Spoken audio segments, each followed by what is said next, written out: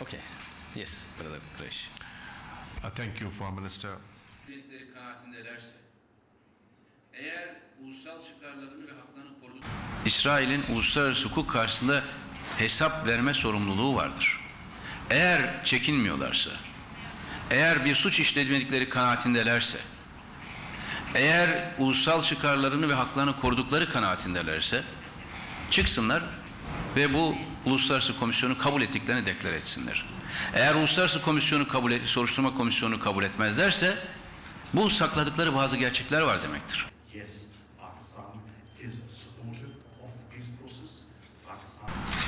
Pakistan condemned in the strongest possible terms the unwarranted aggression shown against the Freedom Flotilla. The people of Pakistan are with you. The government of Pakistan is with you. And we feel that there was no justification of uh, this aggression and humanitarian assistance uh, should not have been uh, blocked the way it was blocked.